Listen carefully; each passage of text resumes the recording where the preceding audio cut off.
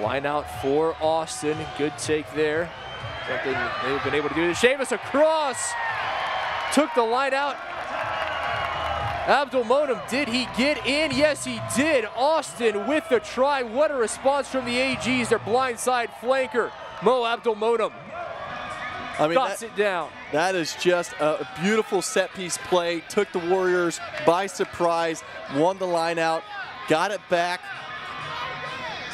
And an amazing try there. It looks like he's holding his hip flexor there a little bit. Might have gotten a little bit of a knock. But what a strike by the AGs. Getting down there, maintaining their shape, winning that line out, and getting it over the line. I mean, that's just one that was a knife through butter getting in there over the line. Great try by Austin. They needed that. You know they needed it, be back in this game.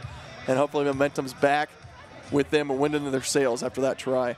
Over Waratahs man Mason looking for the conversion and does so. Flight raises the flags and Austin makes it a 22 to 14 game. Clean take on the line out, Abdelmonem right there.